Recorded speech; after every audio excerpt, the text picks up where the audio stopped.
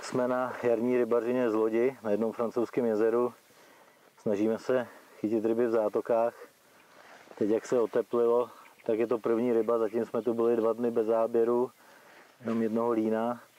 A dneska se udělalo první den sluníčko a přišla první ryba, tak liseček takových okolo 15 kg. Tak doufám, že nebude i poslední, že přijdou ještě další. Byl to velký bojovník. Letěl do rákosí. Díky vlastně tomu podběráku s kulatýmu s pevnýma ramenama se mi ho podařilo z toho dostat. Nádherná. Opět vzal na sífuš veska česnek s povkou broskev. Pěkně panáček, tak dva metry od rákosí. Nádherný. Pěkná ryba. Tak děkuju a pošli mámu.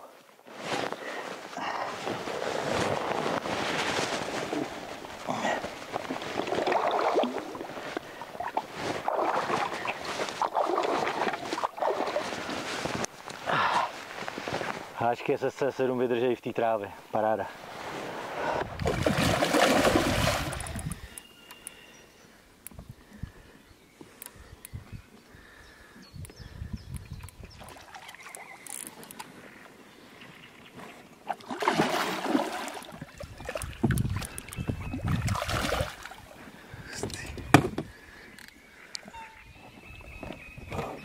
Krásně vidět, jak ta kulička toho seafoodu je omletá, jak prostě funguje rychle to bylo, když jsem tam dával tak před dvěma hodinama.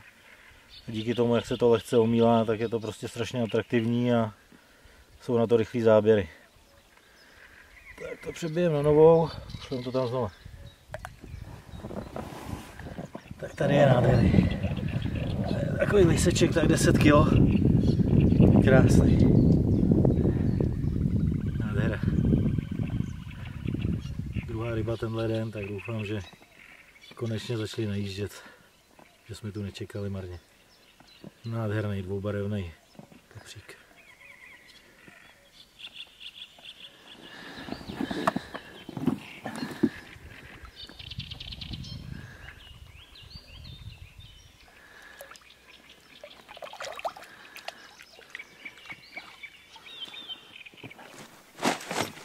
Třech dnech, co jsme tady v zátoce, jsem přišel o dvě ryby. Teďka se ale poved, povedla jedna, která mi to všechno vynahradila. Krásný lisec na celých 22 kg. Tak se pojďme na něj podívat. Nádherná ryba. Krásně stavěná. Nádherný lisec. Jako nás teda seafood s plovkou broskev. Prostě na velké ryby dokonalá kombinace.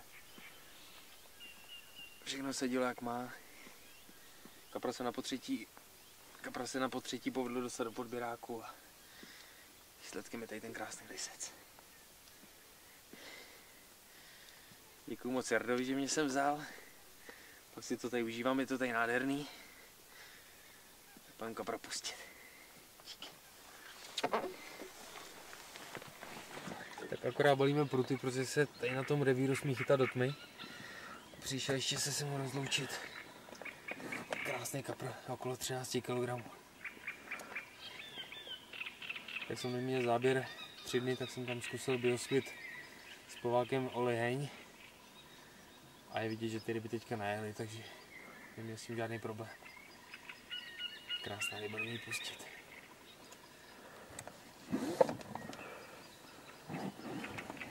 Tak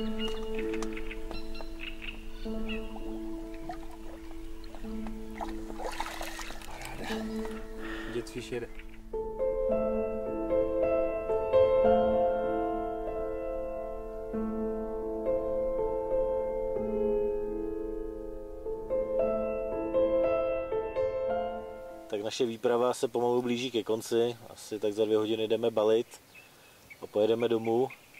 Máme za sebou krásných pět dní chytání z lodi na tomhle mým oblíbeném jezeře. Jezdím sem zhruba nějakých 15 let. Chytil jsem tu opravdu hodně krásných ryb, ale taky mě to jezero někdy dokázalo potrápit, když ty ryby moc nešly. Náš záměr byl takový, že vždycky v tohle období na jaře ty kapři najíždějí do těchto mělčích částí zarostlých travou a dají se tady poměrně dobře chytit.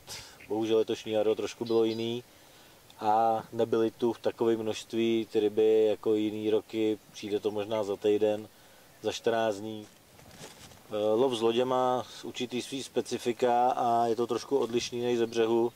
Já jsem se lovu z lodě začal věnovat zhruba před 12 lety. Jsem si tenkrát na řeku Vách hlavně a na Pálavu postavil moji velkou loď, vlastně, kterou mám doteď, ta má 5x2 metry a musím říct, že mě to docela uchvátilo doslova, protože se vlastně dostanete na místa, kde se normálně ze nedostanete a ty ryby samozřejmě se tam chovají úplně jinak a můžete je pozorovat často třeba 20-30 metrů od lodi, jak se krmí nebo jak se vyhazujou.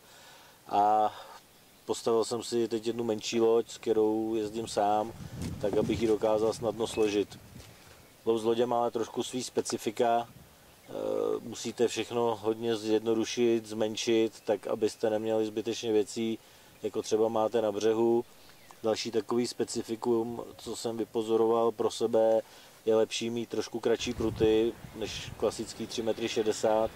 Já mám na to teď 3 metrový pruty, tady speciálně do těch trav trošku tvrdší, jsou to 3 librový pruty, ale když je vezmete do ruky, tak jsou docela tvrdý, jsou to pruty, které se hodí hlavně do, do vázek a do lovu takhle, když do toho rákosí, protože potřebujete opravdu vždycky vytrhat, vytrhat tu trávu a dostat se k té rybě.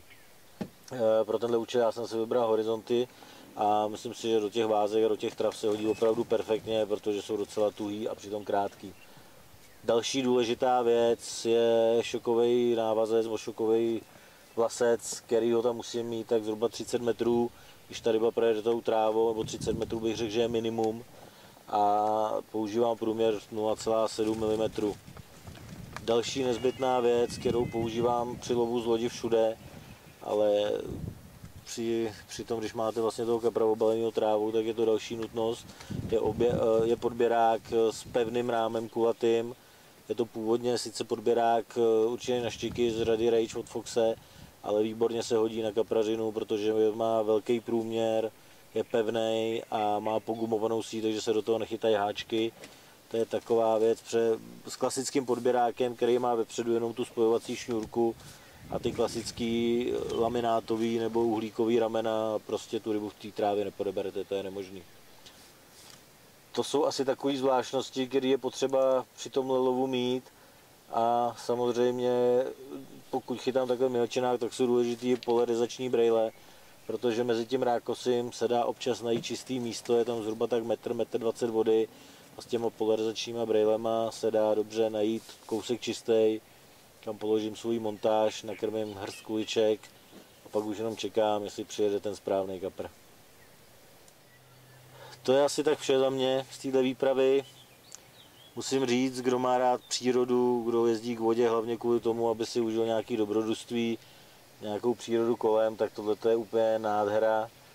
Eh, když se podívám do vody tady, vidím tady spoustu škeblí, raků, vidím tu čolky, který už jsem v Čechách dlouho neviděl. Vidím tady spoustu larev, vidím tady pijavice, která se kolegovi při focení tady s kaprem ve vodě přisává na nohu. A prostě ta příroda je tady nádherná a myslím si, že i když to nikdy úplně nevíde s rybama, že ten pobyt v té přírodě stojí za to. Jdem pomalu balit, pojedeme domů a já se budu těšit do dalšího videa s váma někdy nashledanou. Mějte se hezky, ahoj. Thank you